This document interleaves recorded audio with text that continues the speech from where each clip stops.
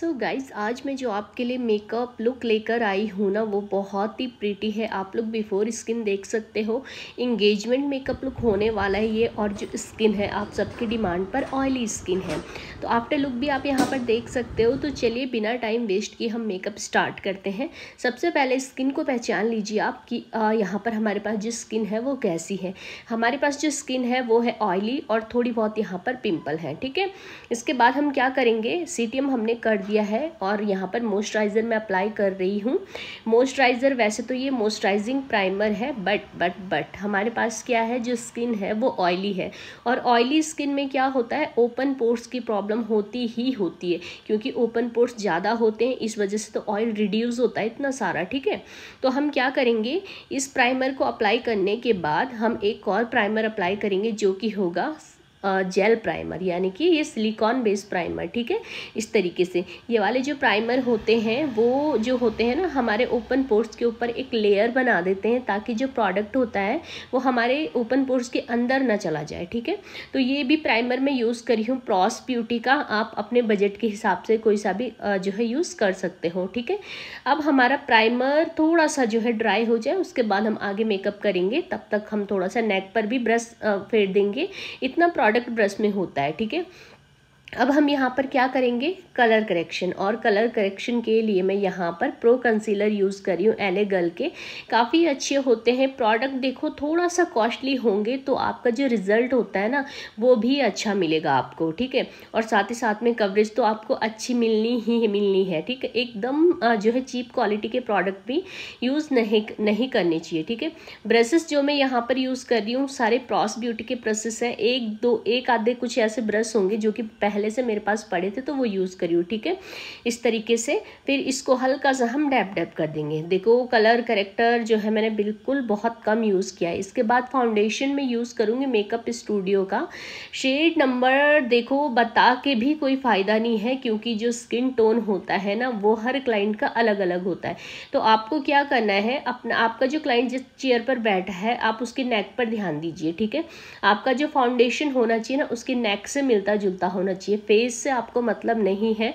नेक का कलर आपको ध्यान में रखना है, ठीक है? क्योंकि फेस होता है बहुत छोटा सा, उसको हम मेकअप कर सकते हैं। नेक कितना बड़ा होता है? देखो बैक नेक कितना बड़ा होता है। वहाँ हम मेकअप नहीं कर सकते। तो आपको क्या करना है? नेक के कलर का फाउंडेशन लेना है और उसको फेस पर अप्लाई करना है, ठीक है? ये देख सकते हो। और ब्यूटी ब्लेंडर या फिर ब्रश में जो बचा खुचा प्रोडक्ट होता है, वो आपको फ्रंट नेक पर अच्छे से जो है लगा देना है। एक्स्ट्रा नहीं लेना है आपको। जो उसमें लगा है, वही जो है उसमें अप्लाई करना है ठीक है? तो ये सारी चीज़ें मैं आप लोग को इसलिए बता रही हूँ कि ये छोटी छोटी बातें होती हैं ना, हमारे मेकअप को काफ़ी हद तक अच्छा बनाती हैं। अब आते हैं हम कंसीलिंग की तरफ़ हाइलाइटिंग की तरफ़, जो कि हाइलाइटिंग होगी बट कंसीलर से, ठीक है? तो यहाँ पर मैं यूज़ कर रही हूँ स्विस ब्यूटी का कंसीलर आप यहाँ पर भी मैं बोलूँगी अपने बजट के हिसाब से आप लोग कुछ भी कर सकते हो, ठीक है? अब आपने यहाँ पर देखा कि हमारा जो फाउंडेशन था ना, उससे दो शेड लाइटर है ये, दो या तीन शेड ठीक है? तो कंसीलर हमें हाईलाइटिंग के लिए जब हम यूज़ करते हैं कंसीलर हमेशा लाइट ही रखना चाहिए। माउथ के अराउंड हमने ये किया मतलब जहाँ जहाँ हमने कलर करेक्शन किया था ना ज़्यादातर देखो कंसीलिंग वहाँ पर होती है।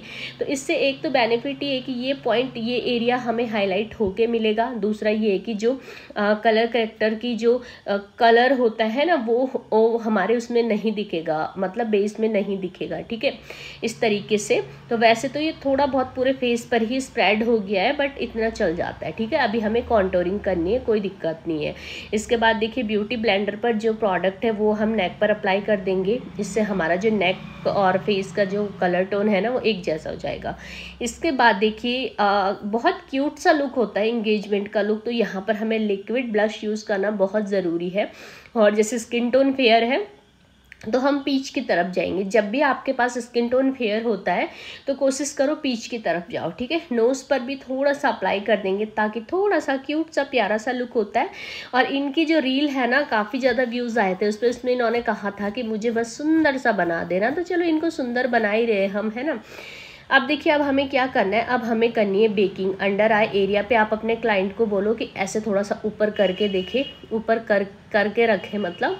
और यहाँ पर जो है ट्रांसलूसेंट पाउडर से मैं थोड़ा सा जो है यहाँ पर अंडर आई एरिया में बेकिंग करूँगी। उसके बाद देखिए, जैसे ही मैंने कॉम्पैक्ट यहाँ पर लगाया, आप खुद वहाँ पर रिज़ल्ट देख सकते हो कि क्या रिज़ल्ट आया है, ठीक है? माउथ के अराउंड भी मैं कॉम्पैक्ट लगाऊँगी। यहाँ पर आपको मैं एक चीज़ बता देती हूँ कि जो कॉम्पैक्ट होते हैं ना, उनकी जो कवरेज होती है वो ट्रांसलूसेंट पाउडर से ज़्यादा होती है, ठीक है? आप देख सकते हो। इसके बाद थोड़ा सा एक्स्ट्रा मैंने ट्रांसलूसेंट पाउडर लिया है और इसको इस तरीके से अंडर आई एरिया में छोड़ दिया है, ताकि अभी मुझे आई का वर्क करना है। तो जो भी आई सैडो वगैरह, कई बार ऐसा होता है कि मस्कारा लग जाता है या फिर काजल लग जाती है, कई चीज़ हो जाती है। तो जो वो प्रोडक्ट है ना, ये इस पाउडर के ऊपर ही लगेगा, वरना तो वो हमारे बेस में ही फिक्स हो जाएगा, ठीक है? अब थोड़ा थोड़ा पाउडर से हम पूरे फेस पर ही थोड़ा सा सेट कर देते हैं, ताकि बाई चांस हमारा हाथ या फिंगर हमारे फेस पर लगे आई मीन क्लाइंट के फेस पर लगे तो वहाँ पर निशान ना पड़े, ठीक है? अब हम क्या करेंगे? आई बेस बनाएँगे। आई बेस बनाने के लिए सेम वही कंसीलर यूज़ करो। लाइट कलर का कंसीलर आपको यूज़ करना है, ठीक है? इस तरीके से। आप यहाँ पर देखना कि इनकी जो आईब्रो है ना, वो बनी हुई नहीं है। मैं नहीं करती हूँ ऐसा कि कोई क्लाइंट आईब्रो नहीं बनवाना चाहता और मैं ज़बरदस्ती उसकी आईब्रो बनाऊँ तो ऐसा नहीं करना चाहिए। ये जो मेरी मॉडल थी, इन्होंने जस्ट अभी इंटर किया है और इन्होंने अभी तक स्टार्ट किया ही नहीं है आईब्रो बनाना। तो मुझे बिल्कुल भी अच्छा नहीं लगा कि मैं अपने काम के लिए इनकी जो आईब्रोज़ है, वो बनाऊँ, ठीक है? तो इस वजह से मैंने ऐसे ही मेकअप किया। अब देखिए, यहाँ पर हमने बातों बातों में आई मेकअप भी हो गया, बहुत ही ज़्यादा सिंपल था। उसके बाद लाइनर वाली लाइन पे, यानी कि लैश लाइन पे हम क्या करेंगे?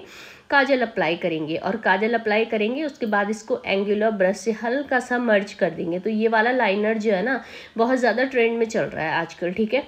और अगर आपको वीडियो अच्छी लगी ना, थोड़ी सी भी अच्छी लगी तो आपने वीडियो को बहुत ज़्यादा शेयर करना है और फटाफट से हंड्रेड के का टारगेट रख रही हूँ मैं सब्सक्राइबर का, फॉलोअर्स का, ठीक है? वो करना है। अब हम आईब्रोज फिल करेंगे। आईब्रोज फिल करने के लिए मैं सेम वही ब्राउन कलर का प्रोडक्ट यूज़ कर रही हूँ। देखो, आप एक एक बार ये सारे प्रोडक्ट ला के रख दोगे ना, भले ही थोड़ा सा महँगे होते हैं, पर ऐसा तो नहीं होता कि ये एक महीने में ख़त्म हो जाए या फिर दो महीने में ख़त्म हो जाए। आप ऐसे रख सकते हो कि एक किट अपनी अच्छे प्रोडक्ट की बना लो, जो कि आप क्लाइंट पर वर्क दो। और दूसरी किट मतलब आप सस्ती वाली कर सकते हो प्रैक्टिस के लिए, ठीक है? जैसे ये आईब्रो की शेप देना हो गया, लाइनर लगाना हो गया तो इसमें आपको बहुत ज़्यादा प्रैक्टिस की ज़रूरत होती है तो सस्ते प्रोडक्ट आप इस चीज़ के लिए रख सकते हो, ठीक है? और जब आपको क्लाइंट का मेकअप करना है तो उसके लिए आप अच्छी सी किट बना के रखो। जितनी अच्छी किट होगी, जितने अच्छे प्रोडक्ट होंगे, उतनी उनकी कवरेज होगी, और साथ ही साथ में जो आपका क्लाइंट है, वो भी आपकी तारीफ़ करेगा, ठीक है? इसके बाद आईब्रोज को हल्का सा जो है हम इस ब्रश की हेल्प से क्लियर करेंगे ताकि कहीं पर कम ज़्यादा हो तो वो भी इक्वल हो जाए। और ये देखो, ये ब्रश यहाँ पे काम आ रहा है। पिछली वीडियो में आप लोगों ने देखा होगा ना, फिर लोअर लैश लाइन में भी सेम काजल लगा रहे और ये कोल पेंसिल ना बार बार टूट रही थी। तो इस वजह से यहाँ पर मुझे दिक्कत हो रही थी। अब मैंने एक छोटा सा ब्रश लिया और ब्लैक और ब्राउन कलर को मिक्स करके बहुत छोटे छोटे स्ट्रोक्स में लोअर लैश लाइन पर यहाँ पर वर्क किया। तो ये वाला जो आ, काम है ना जितना आप अच्छे से करोगे आराम से करोगे बहुत ही ज़्यादा प्रीटी लुक देगा ये आपको बाद में ठीक है? इसके बाद देखेंगे ब्राउन कलर का या फिर मैंने सॉरी ये पिंक कलर का शेड है। इनके ड्रेस से ना मैच होता हुआ। इससे मैंने हल्की सी शेडिंग दी है जो कि बाद में बहुत अच्छी लग रही थी। और इनर कॉर्नर को मैं थोड़ा सा शार्प दिखाना चाह रही थी। इस वजह से मैंने यहाँ पर लाइनर से टीयर डक्ट क्रिएट कर दिया। देखिए, इस तरीके से बहुत ही पतला सा, ठीक है? तो उसके बाद जो इनकी आई है ना, बहुत ही प्रीटी लगने लगी। इसके बाद देखिए आई का काम हमारा यहाँ पर ऑलमोस्ट कंप्लीट हो चुका है। अब हम ब्लश करेंगे तो ब्लश हमने ऑलरेडी वहाँ पर पीच कलर का ब्लश लगाया हुआ है तो बाहर से भी हम पीच ही कलर का लगाएँगे।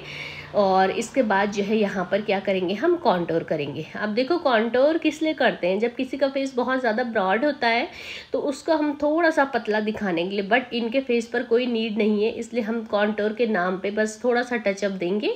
और नोज़ पर काफ़ी ज़्यादा नीड है कॉन्टोर की तो इसलिए हम नोज़ को अच्छे से कॉन्टोर करेंगे, ठीक है? मतलब आप कई लोग ऐसे करते हैं ना कि फेस बहुत पतला सा है, प्यारा सा फिर भी उसमें भर भर के कॉन्टोरिंग करते हैं। तो ऐसे नहीं करना चाहिए, जिस चीज़ की फेस को नीड नहीं है, उस चीज़ को आप स्किप भी कर सकते हो। ये थोड़ी है कि मेकअप की दस के दस स्टेप होते तो आपको दस के दस करने भले ही फेस पर नीड है या नहीं है, ठीक है? ऐसा कुछ नहीं है, अपने हिसाब से आप कम ज़्यादा कर सकते हो। और सबसे ज़्यादा ये होता है कि क्लाइंट के फेस को नीड किस चीज़ की है, ठीक है?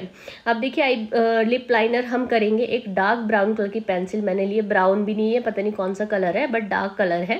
खैर, उससे कोई मतलब नहीं होता। हमें लिप्स की जो शेप होती है, वो थोड़ा सा ब्रॉड करनी थी मुझे, क्योंकि इनके लिप्स काफ़ी छोटे थे और इनको अपना लुक इतना ज़्यादा पसंद आया था, बहुत ही पसंद आया था। ये काफ़ी खुश थी अपने लुक से।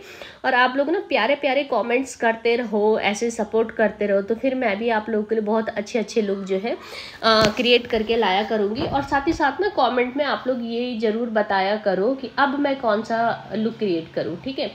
लिपस्टिक भी मैंने यहाँ पर प्ल्यूम सॉरी प्रॉस की यूज़ की है। प्ल्यूम प्रॉस एक ही बात है यूज़ की है। काफ़ी प्यारा शेड है अगर मेरे को टाइम लगा, मैं भूली नहीं तो मैं यहाँ पर मेंशन कर दूँगी, वरना इंस्टाग्राम पर ज़रूर स्टोरी लगा दूँगी। इंस्टाग्राम पर आप लोग फॉलो कर लेना यार प्लीज़ सोना सोना मेक ओवर बाई पूजा के नाम से मेरा इंस्टाग्राम पेज है, वहाँ पर स्टोरी लगा दूँगी मेरे प्रोडक्ट की, ठीक है? और एक तो मुझे वीडियो एडिटिंग, शूटिंग सारा वर्क खुद करना पड़ता है, इस वजह से मैं लिंक्स नहीं दे पाती प्रोडक्ट के और पिक्स नहीं लगा पाती हूँ, बस जो चीज़ आपको स्क्रीन पर विजिबल हो रही है, वही आपको दिखता है, ठीक है?